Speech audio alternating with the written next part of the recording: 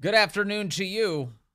406 now, News Talk 105.9 WMAL, where we are making sense of the news. Coming up, Daniel Turner joins us at 4:30. We'll talk about American energy, international energy, and the role that it plays in so much of the chaos that we are seeing going on around us right now. And then Cherise Trump will be with us at 5:30 from Speech First. No relation, by the way, in case you were wondering. To talk about these college campuses, how radical they are. Students openly supporting acts of terrorism against Israel. What can we do about that? We'll talk to Cherise about that at 5:30, and we'll chat with you at 888-630-9625, 888-630-WMAL. Uh, you know, there is a mountain of evidence uh, before us now that shows all the ways in which Joe Biden was clearly working to trade favors while he was in positions of authority within the United States government in order to enrich his family. Endless evidence of that. And let's add another one to the pile. America First Legal has brand new information that they've uncovered by way of a lawsuit. They've been going after this information for years. The Deputy Director of Investigations for America First Legal, John Zadrozny, joins us now with the update. John, good to have you with us, sir. Hey Vince, thanks for having me on. Um, tell me about these emails. You've you've come upon some number of, of emails. What have you learned? So here's the latest on this. So we've been involved in some litigation as a result of our multiple FOIA requests uh, uh, to get into what was happening in the uh, vice presidential office when Joe Biden was vice president uh, with the National Archives and Records Administration, or NARA. And a lot of those requests basically were stiff armed by the administration, which was not unexpected. And so we've uh, we've since filed uh, lawsuits against NARA and other administration agencies to get at this information. And uh, in the course of our lawsuit, we have been able to get some documents thus far. But every now and then, stuff happens at, at what's called a status conference, where the two parties are discussing uh, what the future is for document productions. Basically, Vince, the bottom line is you only really get anything at that point once a court's involved. When an administration refuses to give you documents, you file a lawsuit you get in front of a judge, and the judge presides over the future rollout of documents. Well, what was determined by mutual agreement between the parties, between us and the government, under judicial supervision, was that there were tens of thousands of additional documents, meaning basically emails, between Office of the Vice President or OVP personnel and uh, Biden family business interests. And we're talking tens of thousands, in excess of 29,000 broken among the various interests. I can walk you through them too. For emphasis, we don't have those documents yet. We just know the numbers. Yes. So, so just immediately, the thing that jumps out at me is this is yet again proof of Joe Biden lying about knowing about his quote son's business dealings. Uh, that's correct, and uh, so and and in a world where he didn't know about this, uh, he was grossly negligent in the management of OVP while vice president and it doesn't fit with anything else we know that he wouldn't have known. Obviously, we think he knew. Here's what we we know from what we've been able to agree upon. Uh, NARA has told us that it has 19,335 emails between OVP personnel and Rosemont Seneca, 4,243 emails between OVP personnel and Hunter Biden himself, 1,751 emails between OVP personnel and Jim Biden, the president's brother, and then another 3,738 emails between OVP personnel and uh, Jim Biden's group, the Lion Hall Group. So all so, told, that's literally 29,000 emails between people in Biden's official capacity as vice president yes. and uh, Biden family business interests. What's interesting to me about the numbers you just read out uh, are that is that th- there was more communication with the business organizations put together by the Biden family than there were with Biden family members directly. Yes, and that's very telling too, especially because we've been told that um, there was no interaction. I mean, remember how the storyline has kept changing, Vince. First, it was uh, the president never talks to his son about business. Then he doesn't talk to him about certain businesses. Then he's not aware of what's going on exactly, but he's never been in business with him. And this is an example of the changing goalposts. Yes. There are more emails with family business interests than with Hunter Biden and Jim Biden themselves, and that's just amazing. It is amazing. I mean, like I could, the, have you, go ahead. I'm sorry. Go ahead. Well, the, one of the latest excuses they've used in that goalpost shifting that you're talking about is to the extent Joe Biden was talking to these business partners, it was only about things like the weather. I'm looking at 19,335 emails, according to your findings, with Rosemont Seneca. This is the uh, investment firm where Hunter Biden, Devon Archer, and John Kerry's stepson, Chris Heinz, they put this together. Uh, they're apparently on 19,335 emails with Joe Biden's vice presidential office. My guess is that that is not 20,000 emails about the weather. No, I mean they'll probably blame climate change, but I'm willing to bet it's not about the weather. And uh, you know what's what's really interesting here too is um, I was just trying to think like back in my day as a federal employee, I can probably count on two hands the number of times I emailed a family member something from my work account. Now that's not necessarily typical of federal workers, but I'm just saying the sheer volume here begs some questions about exactly what was going on. Was this the full time job of OVP staff to manage Hunter Biden's and the big so, guy's business interests? So, what you're referring to is not just emails directly from Joe Biden to any of these people, although I presume it, it could include that, but these are the staff members of the vice president's office. So, the, the Biden family must have felt like they were, uh, that, that the staff worked for the family. That's correct, Vince, and I think that's that's definitely you know the big guy's posture probably has been for a very long time. To be clear, these are just emails that the office of the vice president or OVP and someone in that office had with those entities or individuals. Now, you know, was for one of the the pseudonyms that Joe Biden's email accounts were were they involved in these yes. emails? We don't know who was sending the email, who was receiving the email, who was CC. We don't know any of that. Well, we don't know what kind of attachments there are. We just know these emails exist. You know, I've got good friends uh, who I can tell you with assurance that over the over the years of our relationships, I have not sent twenty thousand emails to them. I have not. We have not been on twenty thousand email exchanges with some of my closest friends. That's just true. So this suggests to me, uh, John Zadrozny, that it might be that the vice president's office was putting these business partners on some sort of routine dispatch. Uh, 20,000 emails is a lot. That's like a daily newsletter where you're sending a, a daily report on what's going on inside of the vice president's office. Yeah, uh, that's a good point, Vince. I would suspect it's some mix of, you know, daily emails on certain topics, um, outreach on something that's on fire here and there, uh, transactional information, and how to respond to it. Um, you know, and keep in mind too, this dovetails with what we do know, because we have actually AFL has actually already received documents as a result of previous requests by NARA that showed basically OVP was already running as a full-time PR firm on behalf of Hunter Biden partly in conjunction with his service for Burisma, but not exclusive. Meaning that basically OVP was already working for the Biden family, whether they, they would admit it or not, that there was a full time operation. So add to those handful of relative handful of emails that we received to this massive volume of emails that we have not received. And I think there's a lot more there there, and hoping hopefully we get to see them and share them with the public soon. Yeah, that'd be fantastic. Where does this go next? Is it just is it just the the constant battle to find out what's underneath all of this? Uh, basically, yes. So it comes down to right now, T, some things we can't talk about because we are in front of a judge, and so um, a lot of this is based on mutual engagement with the government, uh, the attorneys for NARA, and the judge. I think that the basic way, though, it'll go is that at some point the judge will start saying, okay, well, he or she, uh, the judge will make a determination regarding whether or not the documents are relevant. They may ask us to make some concessions in terms of scope. That's usually how these status conferences go, and then we produce joint reports saying what's going on and are we complying with court orders. And so it depends on how fast the judge wants to move. It depends on how fast, or rather, it depends on whether the judge thinks the government's making BS arguments about what should and shouldn't be turned over. Uh, as a result, just to flag this for you, you'll find this interesting. The numbers we came up with were a result of, of NARA basically saying, well, we want to find a way to narrow what we're going to turn over, and here's the total universe.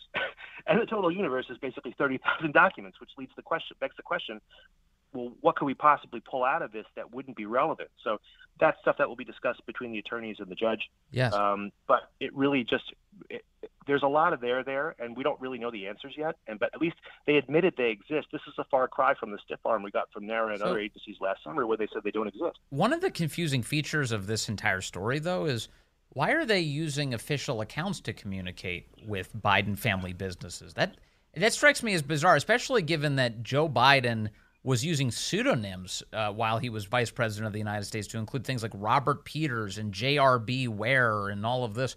Uh, you would think that if they're doing something underhanded, they would try not to subject it to public disclosure. Uh, well, that's a good point, Vince. The only counter I can give you are two, is twofold. One is that uh, these are lefties. And so they live in a world where there is never going to be pushback for being a lefty, no matter what corruption gets uncovered. Even now, they're saying this is no big deal when we all know it is a big deal. And it could just be sloppiness on their part.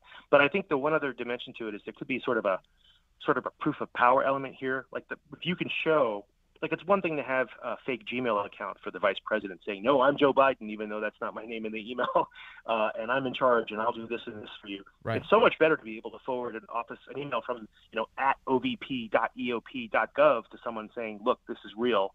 We can make this happen." Yeah, that that demonstrates access for sure. There's no question about that. Um, well, I got to say, I'm I'm grateful to uh, America First Legal for all of its great work and the fact that you just keep digging in on this. I I think it's very worthwhile. Uh, I know people are frustrated constantly that it seems like we just get updates like this, it doesn't go anywhere. But the truth is, you don't get the ammunition to to bring it somewhere without great groups like yours. So, John Zadrozny, thank you very much for digging in, sir. Thank you so much, Vince. That's uh, John Zadrozny again with America First Legal. With I think you know, it's just like it. Not a surprise. It's it's amazing that we've gotten this far in this saga where now you see headlines like, "Oh yeah, the vice president's office had twenty thousand emails exchanged with Hunter Biden's business," and you say, "Yeah, typical. Add it to the pile. Add it to the pile. How much more would you need for a prosecution? I mean, you got to be kidding me."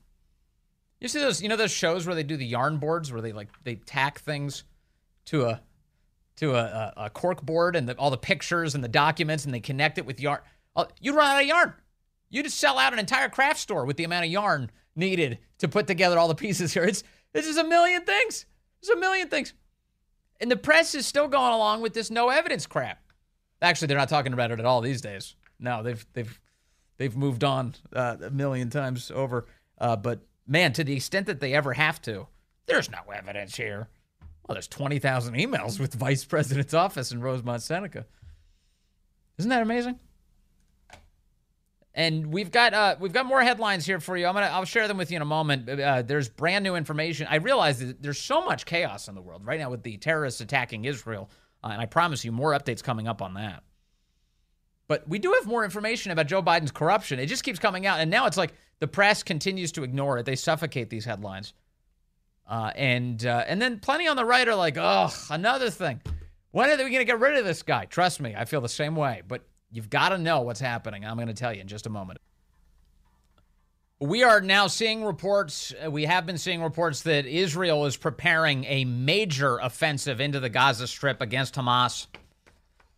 A major offensive.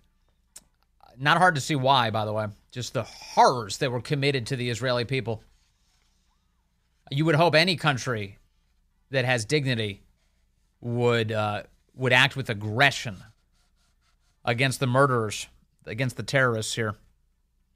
Um, Israel has called up 300,000 reservists. 300,000, just for perspective. You know that Israel is a population of about 9 million people.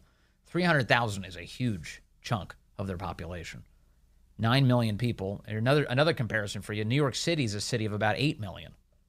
So you got a population in Israel about the size, a little bit bigger than the size of New York City. And uh, they are preparing what they say could be a very major ground offensive against Hamas into the Gaza Strip. Uh, we're talking a very dicey situation, of course. You've got uh, all of these hostages, 130 of them at least, according to Hamas. That's what they're claiming, that they took from Israel into the Gaza Strip and um, among them are Americans. We got confirmation today from the White House that that's the case. Now, the the barbarism committed by Hamas is something that I don't know. The American left. There's a plenty of people in the American left who don't seem to care. Right? They're for it, I guess. Uh, who are rooting all of this on, including on college campuses, and it's just super grotesque what's happening here in the United States. Uh, but there's also people like this guy, he's a member, he's a spokesman for Hamas, and he was on Sky News this week, and he said that no civilians have died. No civilians. Now, you've seen the images. This is what this guy's saying. Are you saying that civilians have not died? Civilians? We didn't kill any civilians. Uh, it, uh, it depends what about the 260 bodies what about the 260 bodies at the music festival? Do you realise how absurd that, I, that sounds? Now, within within within the operation, uh, I cannot uh, confirm uh, this Israeli propaganda because we have also news and videos showing that Israel and what Israel is today doing disgusting, inside disgusting Gaza. Disgusting propaganda from that guy. Um, here is uh, there's a report this morning, and uh, I got to say, just to prepare you for the, the, the nature of this audio, Um, the revelation of what has happened to little babies in Israel is now being confirmed by American media. 24 News, a correspondent by the name of Nicole Zedek, was on the ground there in Israel, and here's what she reported today. David, it's hard to even explain exactly just the mass casualties that happened right here. In fact, the Israeli military says they still don't have a clear number, but I'm talking to some of the soldiers and they say what they've witnessed as they've been walking through these different houses, these different communities, uh, babies, their heads cut off. That's what they said. Gunned down, families completely gunned down in their beds. You can see some of these soldiers right now comforting each other. Many of them reserves uh, who jumped into action, leaving their own families behind as well, not knowing the sheer horror that they were about to come to. They say they've never experienced anything like this. This is nothing that anyone could have even imagined when you're walking through here. Uh, you heard it there babies beheaded by these animals, Hamas. Norah O'Donnell of CBS News has confirmed this detail. She posted a short while ago CBS News has learned that Israel body recovery teams have discovered beheaded babies and children in kibbutzim in southern Israel. Um, so that really happened. And uh, it's no wonder that Israel is now mobilizing hundreds of thousands of reservists to go to war here against Hamas. Not a war they asked for, a war that uh, has come to them as these as this terror attack has struck Israel. Uh, we'll keep bringing you the updates on this. Everything we're learning. It's a very live situation, including the U.S. engagement in this. Uh, Joe Biden today saying in re- in remarks for the first time in days, coming out in public and saying we stand with Israel. Certainly, many Americans do, but little rich hearing it from him when he's done so much to advance the interests of Hamas and Iran. No mention of Iran today in his remarks. We're dealing with a lot here. We'll talk energy and its role in all of this next with Daniel Turner. Hang tight. Well, good afternoon to you. 435 now. News Talk 105.9 WMAL, where we're making sense of the news. Coming up, we're going to be joined by Cherise Trump at 530 from Speech First. And uh, boy, because college students using their free speech rights across the country to say the worst possible things. They really are. Supporting Hamas, the terrorists, condemning Israel, the victims. Places like NYU, Harvard, Columbia, disgusting scumbags making statements in support of terrorism. You see, Black Lives Matter chapters are all signaling their support for Hamas, too. Way to go, Mitt Romney marching with BLM. You know, just just totally gross. We'll we'll get into the details ahead with Cherise Trump. Right now, I want to concentrate on, uh, well, first, also, you can call us at 888 630 9625, 888 630 WMAL. I want to concentrate uh, for a moment on the energy factor to all of this. Because when you peel it all back, one of the things that stands out to me is how obvious the production of American energy is to bring about global stability and to bring about human flourishing and to bring, bring about what is our concern specifically American flourishing. This seems obvious. I, am I wrong? Let's bring in Daniel Turner. He's the founder and executive director of Power of the Future, and he joins us on the phone. Hello, Daniel. Ben, it's always a pleasure to be on your show. I mean, for, first of all, I, all of this chaos that we're seeing, I, I, I do feel like that there is an answer built into just producing more American energy. No? Oh, absolutely. I feel like you watch what's happening now in the Middle East and also even the invasion in Ukraine last year, and these were all very predictable. I, I've sometimes, you know, I was I was just telling your, your producer before we went online, I'm taking a victory lap for having predicted this, but I'm not proud of that. Like I'm not happy that I, I in in in 2020 when Biden was declared the victor said, well, here's what's going to be the result, right? When we punish energy, life is going to get very expensive. And unfortunately, many of the world's bad actors produce oil and gas, and they're going to get very rich. And when they have a lot of money, they declare war on their neighbors. Yes, this is how uh, Russia finances its war. This is how Russia finances yeah. its war in Ukraine. This is how Iran finances its terrorism against Israel.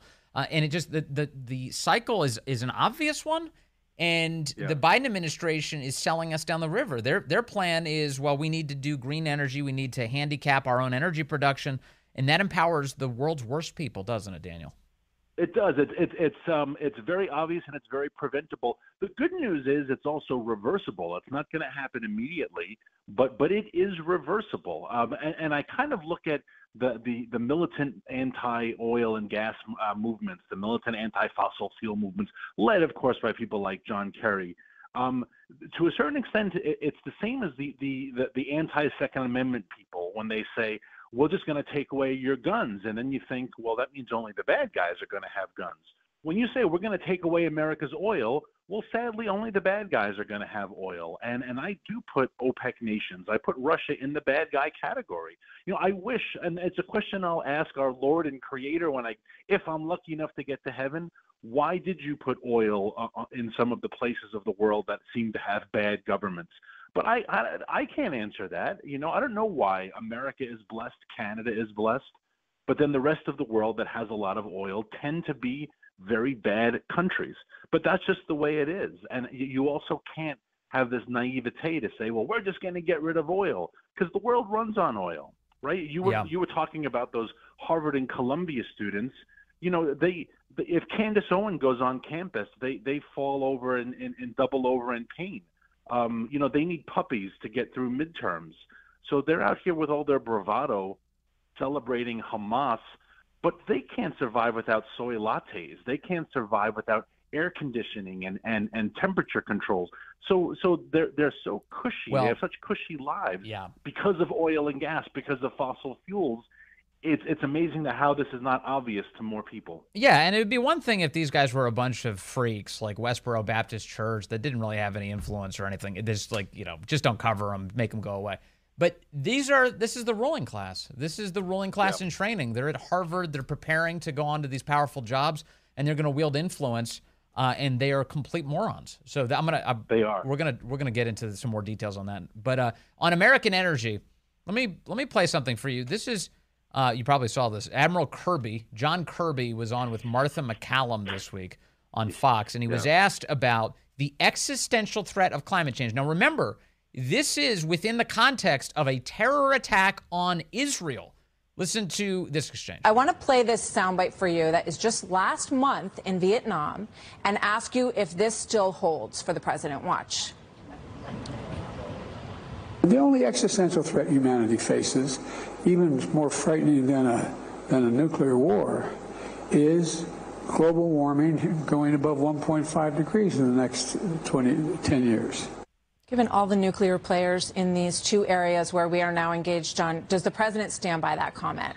Absolutely, he does. Here's a little bit more from John Kirby about how he answered that. Climate change is an existential threat. It could, you know, it actually threatens and is capable of wiping out all human life on Earth uh, over time. I mean, that's I don't know how more existential you can get to that, but that doesn't mean that we walk away from our obligations, our national security interests. Um, this is contemptible in my view. Uh, Yeah. Daniel Turner. Uh, he, they're, they're saying that we need to keep on destroying American energy production uh, and thus enabling. I mean, come on, Kirby knows the answer to this. Uh, we're enabling uh, Iran, which is funding Hamas, which is beheading children now, beheading babies Yeah. in in Israel. This is an insult.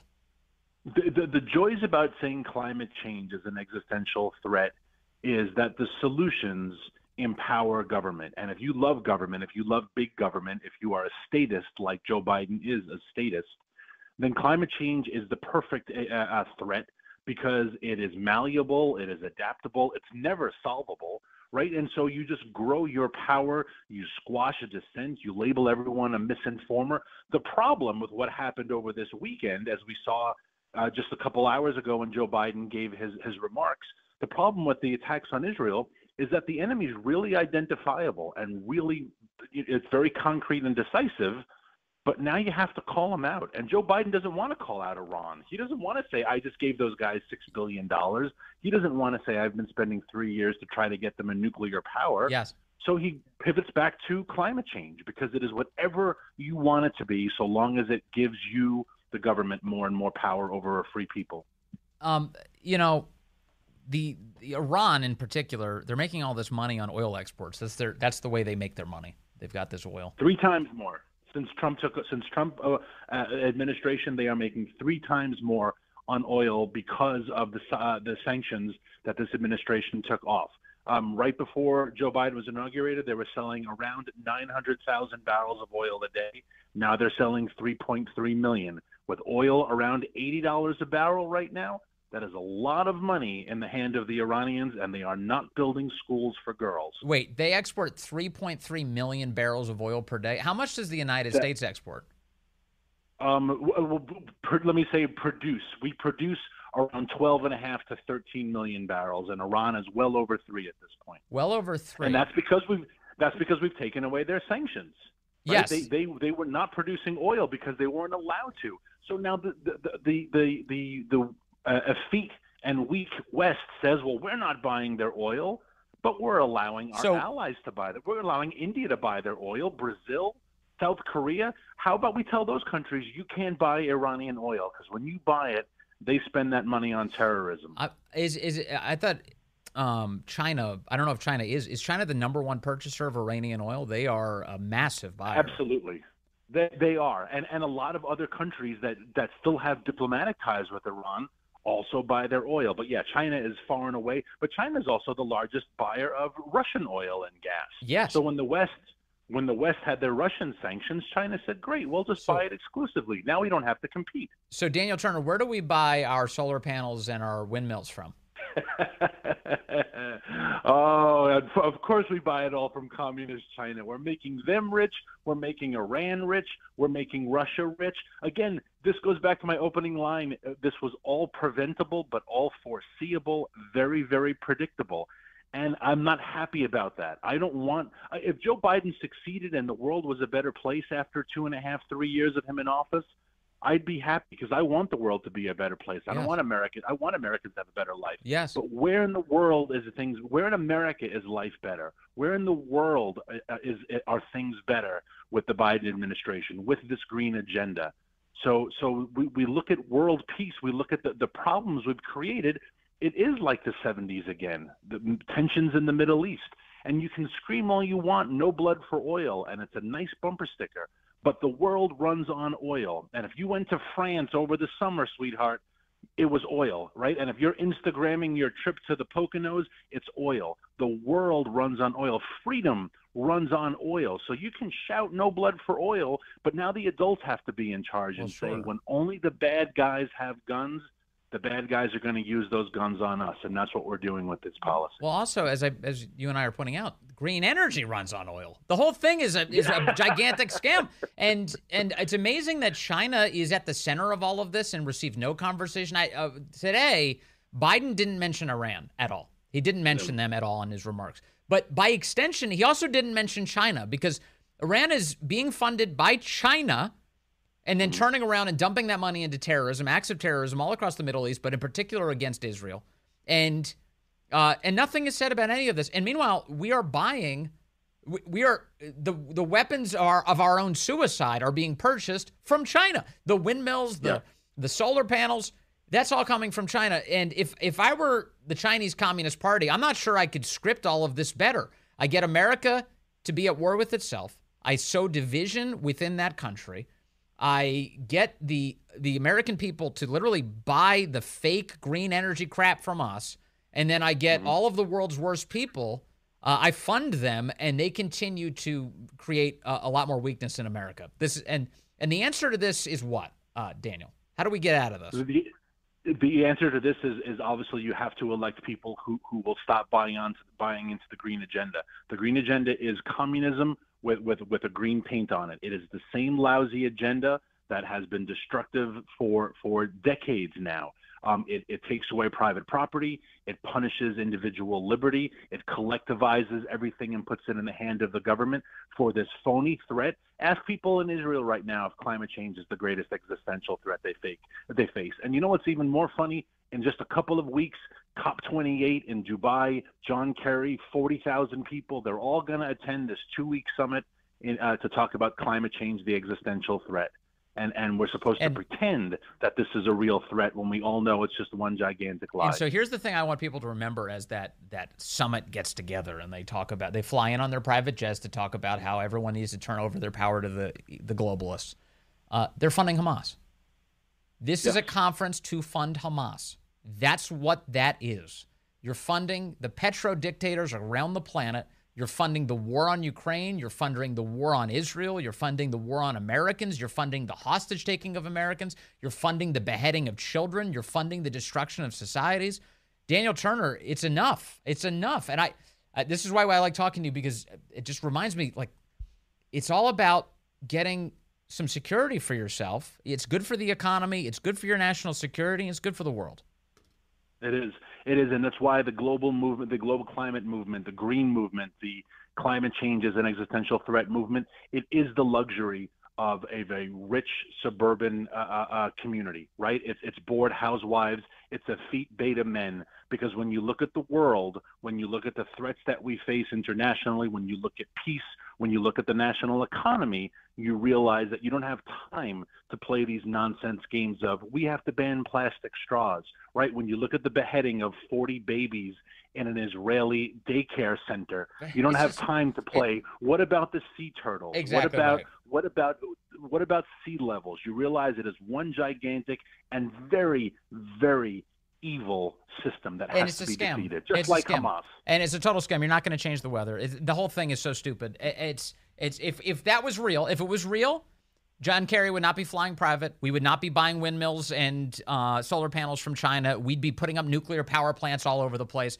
It's not real. They're they're lying to you, and their actions demonstrate it with every passing day. And normally I like to come on the show with a couple of funny jokes and, and laugh, but I can't today. I, I mean, I there's nothing there's nothing funny about what's happening anymore. And energy policy should be boring. It should be perfunctory. We should have bipartisan agreement on energy. But this is what happens when the left takes root of anything, whether it's the education system, whether it's the energy system. They destroy it from within. They create division. They create misery. They create chaos, and then we're left with the pieces. And and and so, yeah, I normally have a couple of funny lines, but I'm out of them today, Vince, because you can't look at what's happening in the world and look at the, the Biden energy policy and be anything but depressed. Well, you're you're just reminding us that rational thought still does exist out there. Daniel Turner, thank you very much. Good to talk to you as always, sir. All right, your calls, as always, pouring in. We appreciate those. Let me go to Dave in Alexandria, line two. Dave, good afternoon. You're on the Vince Coglianese Show. Hello, Vince. How are you? Um, don't take this the wrong way, and and I agree wholeheartedly that Iran really should be bombed off off the map. But with the actions of the Obama administration sending the overnight billions to Iran, with um, with uh, the, shut, the the termination of Keystone Two pipeline, just enriching Russia, with the six billion dollars recently paid by Joe Biden to Iran, mm-hmm. while Iran may be the biggest funder of terrorism, but you almost have to say the United States is truly the biggest funder of terrorism by those three actions. There, you know, without the, the Keystone being shut off, there's no invasion of Ukraine, or there, there's no prolonged invasion. All of these things come from Yeah. Billions sent to um, a, a disgusting um, regime. Yep, absolutely. And and it and, by lifting the sanctions on uh, those exports from Iran, uh, what we've done is allowed China to fund them to, to massive amounts. So I'm I, I I wouldn't take that the wrong way at all, Dave. I agree with you wholeheartedly. Uh, I think that Joe Biden, uh, more so than Joe Obama and Biden, really the two presidents in American history have done more than anybody to enable the growth of the Iranian terror regime. Undoubtedly, undoubtedly. Couldn't couldn't agree more. It's uh, it's it's grotesque, which is why I watched Biden today saying, "Well, we stand with Israel." That's it's totally insane, totally insane for him to stand. And of course we do as a country. And I I don't know a person who doesn't empathize with, sympathize with, care for, stand with Israel today. Uh, but the left, they've got a lot of those who are not standing with Israel. It's all over the place. We'll get into that coming up. Cherise Trump will join us here in the next hour as all of these far left campuses, which are preparing our next ruling class, are churning out people who support terrorism and they're proud of it. The details on that ahead on the Vince Coglianese Show.